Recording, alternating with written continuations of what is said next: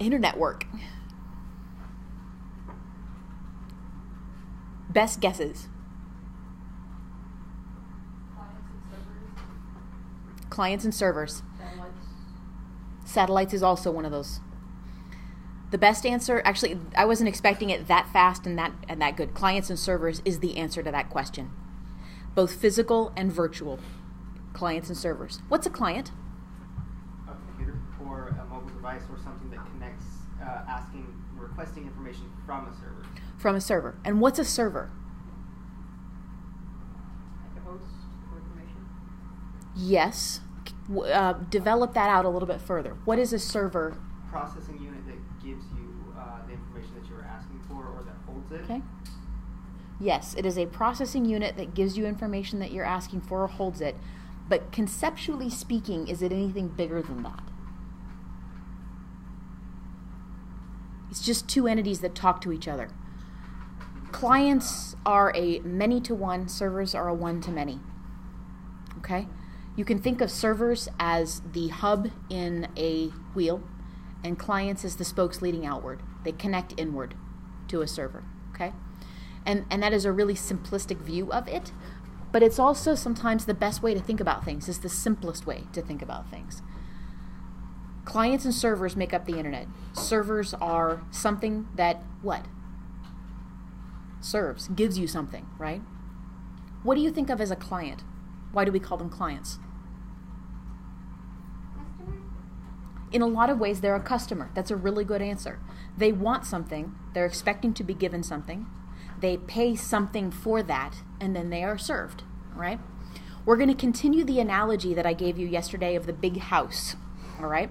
How does the cloud work? I'm going to talk more about how the cloud works today by extending that analogy of the house that has about 65,000 doors in it. We talked about email yesterday and how when a secure email is sent from a server to another server, from a client to another server through the um, sundry mail transfer agents that exist out there. When it goes to live on the server that it's going to live on, it knocks on door number 993 of that house. The internet is often conflated with the World Wide Web, and we're going to talk more about what the difference between the internet and the World Wide Web is tomorrow when we talk about DNS or domain name service. But today, what we're going to talk about really is the internet. The internet is the physical existence of those clients and servers, not necessarily the virtual implementation of them. The internet is, is physical. It's these bits and pieces we have here. It's Cat5 cable, it's boxes, it's computers, it is the, the fiber optic cable laid on the ocean floor. Okay? The it is also accurate to say that the internet is Wi Fi signal is any of the hotspots that you yourself create. You can create internet and take it away. Internet is fungible. Um, when you turn your phone on and you create a hotspot with your phone so that you can log into it from your laptop, you are making a bit of internet right then. Okay? You're creating a place where a client can get on board and go look at servers and get what they what they want out of it. Right? So when we think about going and getting information on the internet, it's often as simple as thinking to ourselves, I'm going to type in google.com and that will take me to Google. But what does it mean to be taken to Google? To go there, physically go there? Redirected. Redirected is a good answer, or, or more just directed. Theoretically, if you're being redirected to Google, you should be notified of that fact. Well, Google redirects you to other sites. Google provides links to other sites, but it doesn't physically redirect you to other sites. And we'll talk more about the nature of being redirected when it comes to DNS tomorrow, but it's a really good guess. When we talk about about going to a website, what we're talking about is our browser as a client, right? It's something that is looking to to get service from somewhere. Traveling to via assume magic for right now, but again, DNS happens tomorrow, and we'll talk more about that. It's complex enough to, to warrant its own discussion. So assume a little bit of magic. Your client here goes and knocks on the door of Google, which is a big house that has 65,000 doors. And your browser goes looking at door number 80. Right, we talked about servers also, and sometimes I conflate the computer that servers live on and the server itself, and I'm, I do not want to do that. This is the day that I'm going to separate those two things apart for you. There is a physical computer, like this laptop right here, which is, in fact, right now, and also can be a server. There is a physical computer out there that theterra.com lives on. It's not this MacBook right here. It lives in Dallas somewhere in a rack of servers served by Rackspace, which is a cloud computing company. And in that big mess of computers, just think about a big wall that blinks, and you've got a basic idea of what these computers look like. They don't look like your everyday desktop computers, but they're basically made of the same things. They've got a hard drive, they've got memory, and they've got processors. They store stuff and they serve stuff as required. On those computers, I have a an instance and we can talk more about the nature of hypervisors and spinning up cloud servers in the future, especially as, as many of you may want to have more of a specialty in this over time. Um, but on those computers, I have the virtual implementation of this computer right here. There is a big old storage setup in Dallas Fort Worth that has multiple different virtual computers on it. One of those virtual computers belongs to me. That virtual computer is one that has multiple services running on it. Sometimes we conflate services and servers. For the purposes of this discussion, it's pretty accurate to conflate them. And on that computer lives theterra.com, redqueentech.com, a couple of other websites that live out there. And if you think of that virtual computer, which is a um, it's not actually, although I held up this machine right here as a MacBook, it's actually not a computer that is made out of OS X or the Mac operating system. It's actually made out of something called Ubuntu. How many of you have heard of Linux before? Awesome. How many of you know the difference between Linux and Debian? I don't know quite the difference, but they're different distros, right? Actually, Linux is the base from which many of these distros are created. It's a very good guess. Yes, Debian is one of the distros that is created from the base Linux kernel, right? Like Yes. short word for distribution, kind of. Right? Yes, and distro is a short word for distribution. It's also accurate to call it an operating system. Okay? So, Debian, or in the case of the spe- specific one that I have, Ubuntu, is an open source operating system that is, it is not just the operating system running on this computer, it functionally, for the purposes of the cloud, is the computer. Okay? How many of you want to ask questions about what I'm talking about right now? Go ahead and ask questions anytime you want to. You can't stop me, it's okay. Do you know what I mean when I say distro? Go ahead. What's that? Debian. Debian. Yes, Google Debian. Yeah.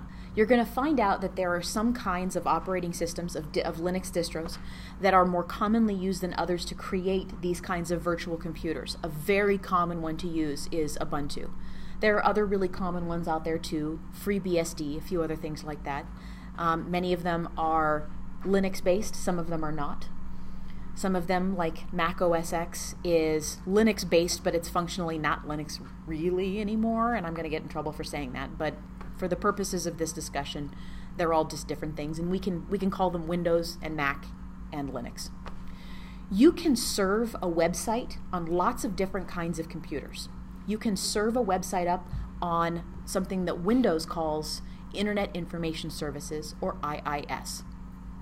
That is the, the little guy running around inside the house if the house is made of Windows, and it is a good idea to just think of this house as made of Ubuntu or made of Mac or made of Windows.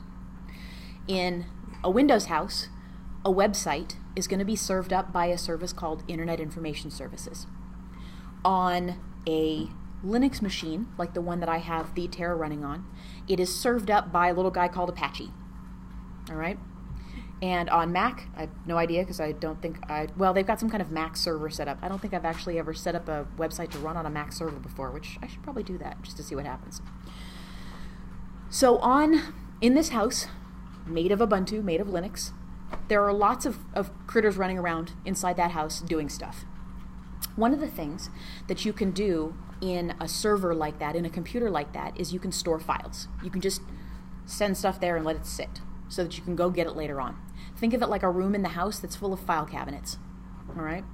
If I wanted to, I could take, for instance, my entire digital photography collection and I could go and spin up a house made out of Ubuntu and just go store all my photos on it if I wanted to. And it would no longer be in my house, it would be on a virtual computer in Dallas or Chicago or Denver or Atlanta or wherever the, the physical servers were located that my that my virtual machine was located on. All right. Am I am I doing pretty well on explaining what this what's happening so far? Are you following me here? I want to see some nodding heads. Okay, good.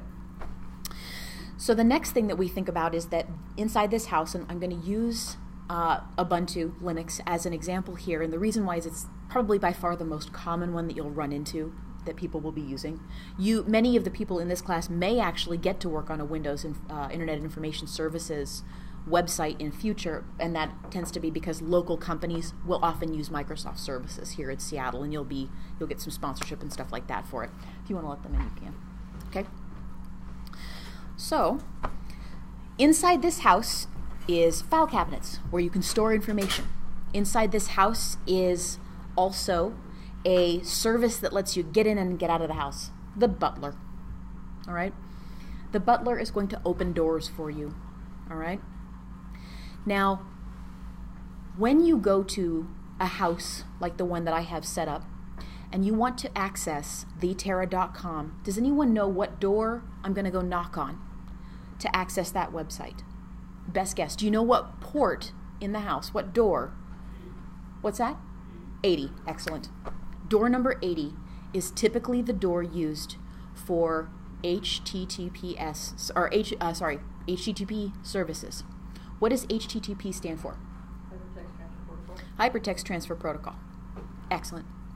That is the door that you go knock on to get a website, a non secure website, served up in. What about HTTPS? What does the S stand for? Secure. Secure, excellent. Best guess is on the port, the door that you go knock on.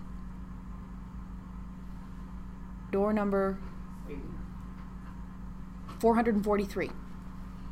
Oh. You go knock specifically on those doors because behind that door is someone saying yes or no, there is or is not a website behind here that you're looking for. All right? Um, so Yes. So the doors are just, it's kind of like a metaphor of how I can visualize how I can get in. Yes. Uh, Exactly. The house and doors is just a metaphor for the computer. That's exactly what it is. The house has about 65,000 doors. You could get into any one of them.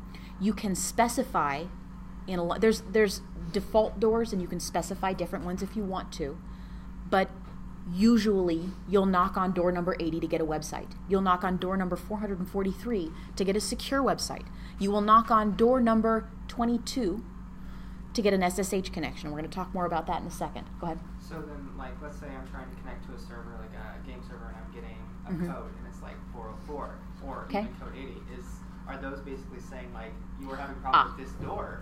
That is an excellent question. When you get an error when you are on a website and it says something like um, error 500 or error 530 database connections, or you get an error 404 resource not found, those are HTTP errors. Those are not errors on the server. What that what's happening right there when you see a 404 is not about the door you're knocking on. Instead, the guy behind the door is like, "Whoa, there's nothing here. The thing you're looking for doesn't exist." And so in HTTP, um, that is the that's the error that you're going to receive in your browser window. And those codes 404, 202, you, you don't you won't normally see the 200 um, error codes because they're not error codes. They're server response codes actually. And 200 means yeah, you're good. Go ahead. Here's all the stuff. The 300 response codes tend to be you're being mysteriously redirected, and I hope you're okay with that could be a temporary could be a permanent redirect and that's where your question about redirects comes in okay? Um, 400s something's wrong. Eek. Oh my god.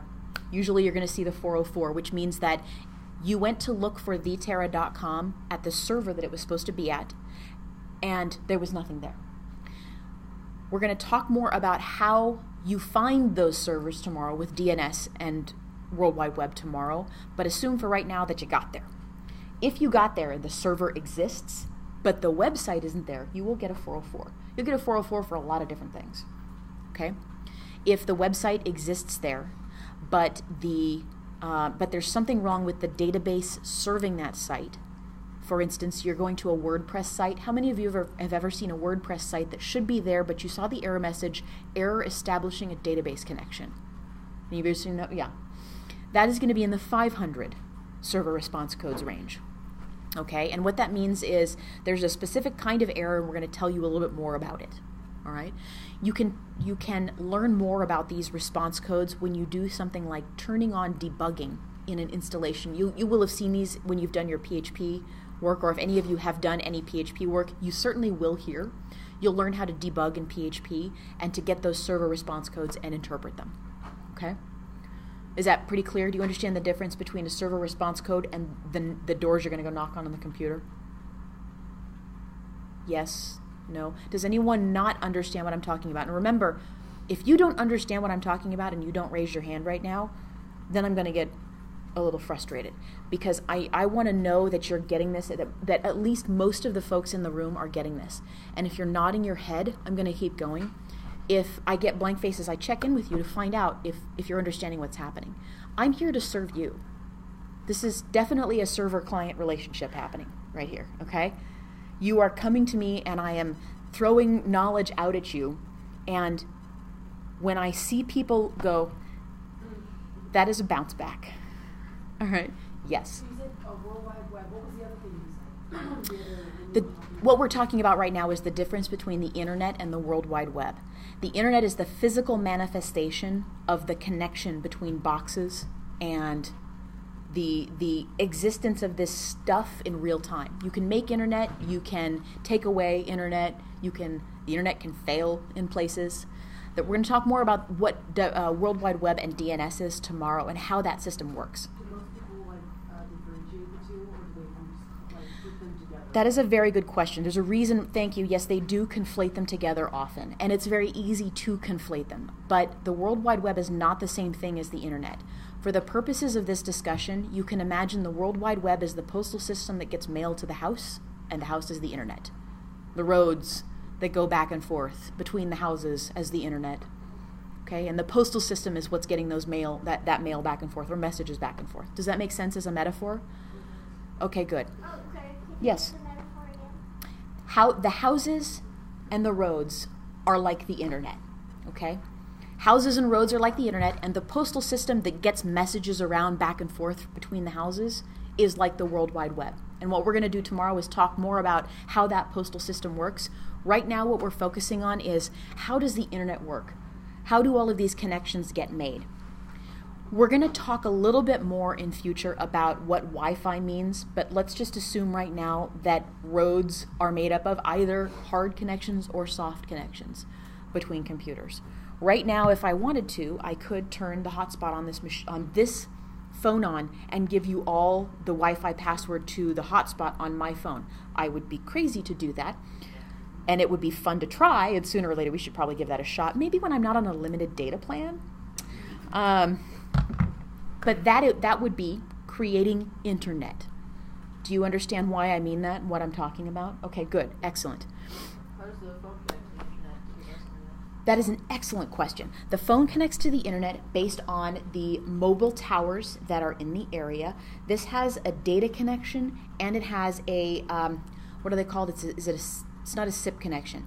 There are multiple different kinds of connections, and the funny part here is I actually used to work for um, a, a company that did mobile telephony called Silent Circle, uh, but the problem is I was working on the websites, and as much as I tried to dig into exactly how cell phones work, I, I it's it's radio waves the same as Wi-Fi would work. It's all on different frequencies.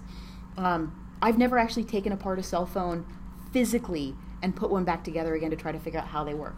I've done it virtually in like you know hacked phones themselves, but not taken them apart to figure out to figure out the hardware. Same as um, Mhm. you've seen before, like uh, sort of USB thing that you plug into your computer to get internet from. That that's just bypassing the Wi-Fi on your phone. Are you talking about using like Talk USB about- tethering? Talk about on a computer is um, Uh-huh. a thing you can buy. It's basically portable internet. It's- Yes, Tethering. same thing. Yeah, that is the exact same thing that you would find on this phone. The unit inside that mobile tethering device is the same thing that you find inside a phone. Yeah. And those are becoming less and less popular as more and more uh, wireless carriers realize that they are absolute freaking morons for not just building it into their phones and letting people use it. Okay? All right, so inside this house are a lot of people running around. Have you ever heard of an FTP server? What does FTP stand for?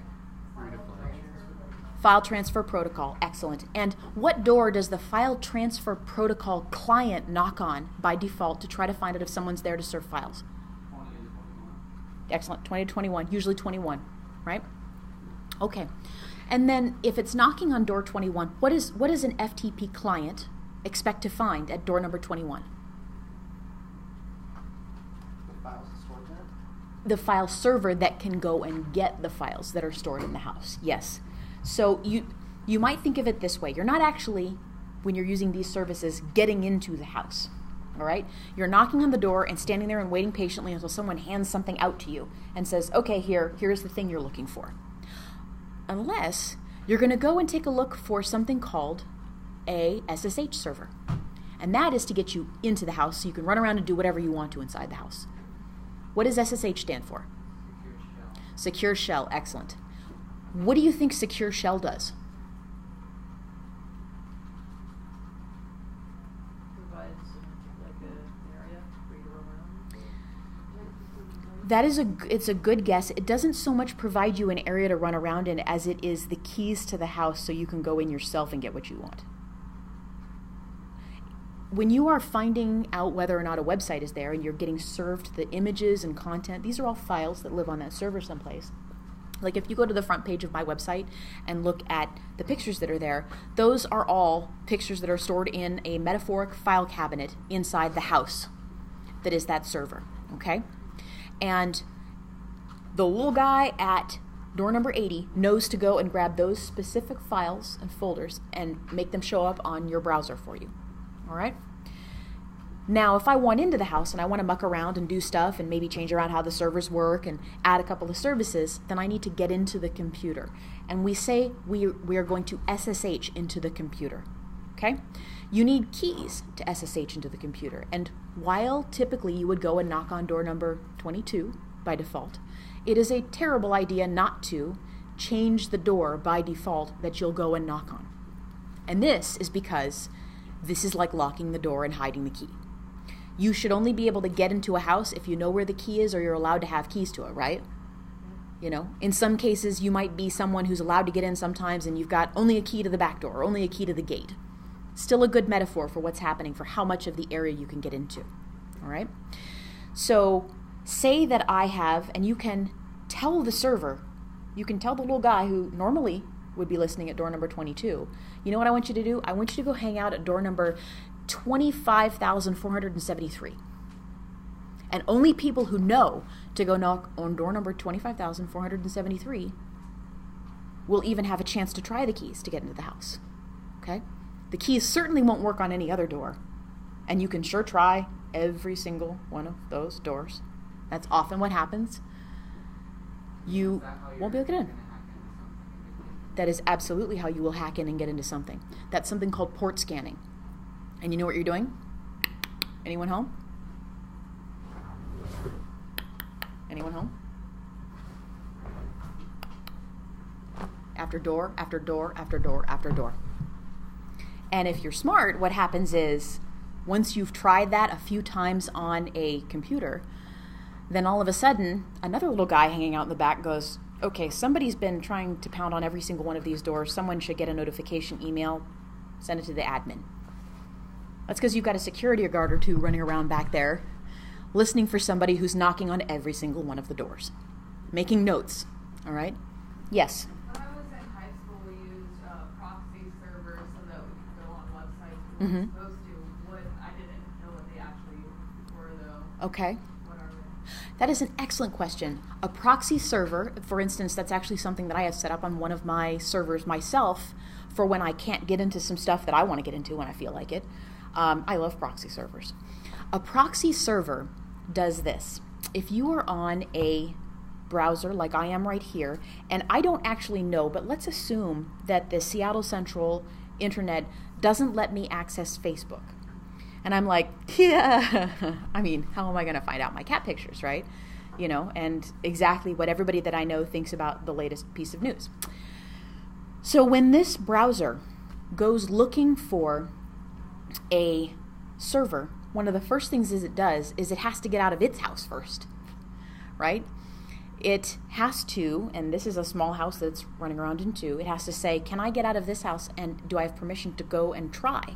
You're asking a mommy figure, and if you've ever seen um, nanny internet software, this is what it's doing too. And your browser and any of the the doors or bars between you and getting out into the internet to go look for what you're looking for um, will often say either first you can't make that request or once you've made the request we're not going to let you actually pull the data back to your browser. And there's there's a couple of different ways of doing that. A proxy server bypasses any of the safeguards that are set to keep you from staying in your house or having the pizza delivered unto you and pizza is a pretty good analogy for this right here, too. You're either being prevented from calling for pizza in the first place, or when the pizza guy shows up, there's somebody there who's like, no, you can't deliver to here. So one or the other is happening. Imagine instead that you had a tin can and a string going over to a friend's house that says, I need you to order a pizza for me, and then just pass it to me through the window. That is the, the metaphoric concept of a proxy server. You are bypassing the safeguards on your house and bypassing the prevention mechanism that stops that information from coming back to you. And you're just saying, I would like to just bypass this process altogether. Does that make sense on a metaphoric